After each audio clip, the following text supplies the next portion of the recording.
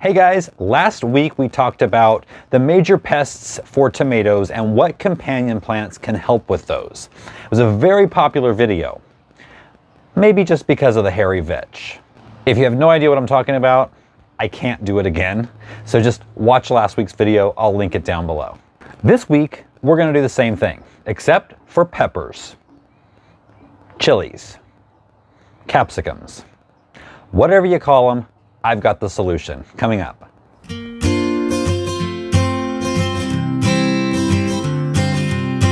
Hey, I'm Brian with Next Level Gardening, and if you're looking to join an online garden community that offers tips, tricks, and support to help take your gardening to the next level, you're in the right place. Get started now by clicking subscribe and hit the bell so you never miss anything.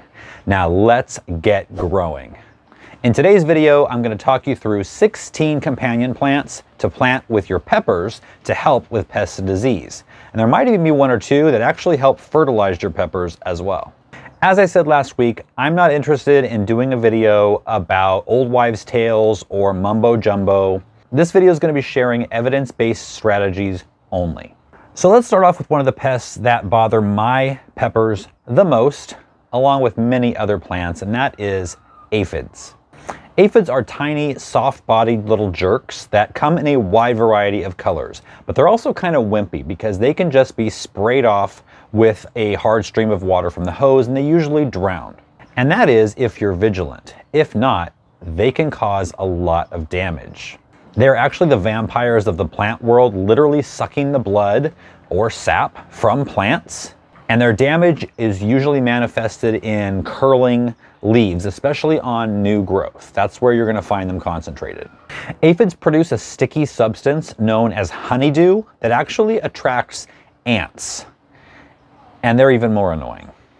There is a plant group that actually produces a scent so strong that aphids steer clear of it, and that would be the allium family, onions. But you have to find the right type that's going to be growing the same time as your peppers and for the same length of time.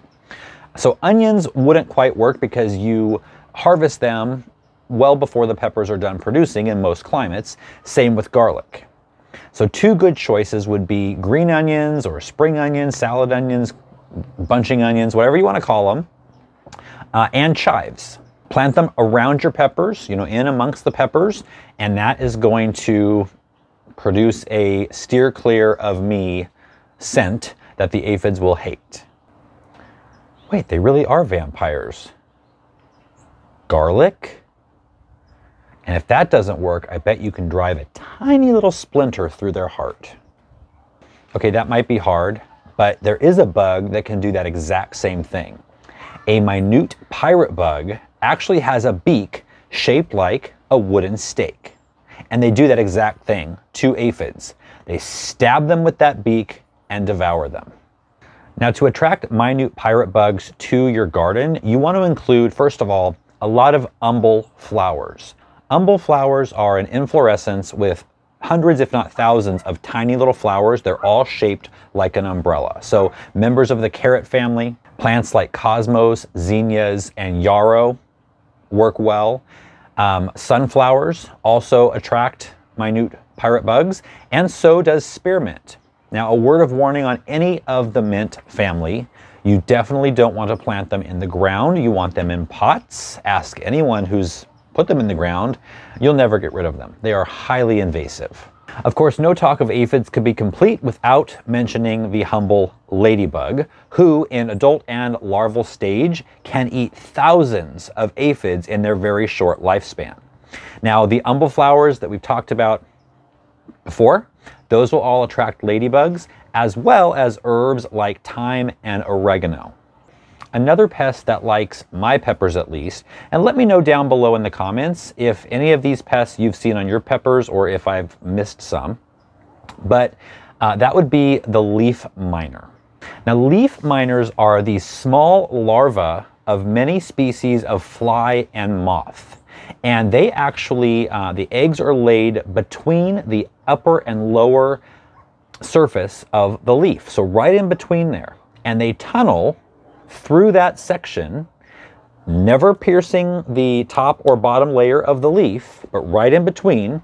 And you're not going to see the actual larva, but you're going to see their tracks. It looks like these squiggly little lines all over the leaf. They're actually really difficult to control with spray because again, the top and the bottom layers of the leaf are protecting them. Kind of smart. However, there is one insect that has outsmarted them. The parasitic wasp. The parasitic wasp can find them inside the leaf, stab right through, right into them. There's a lot of stabbing going on. They can lay their eggs right inside that tiny little larva. And when those eggs hatch, they eat that larva from the inside out.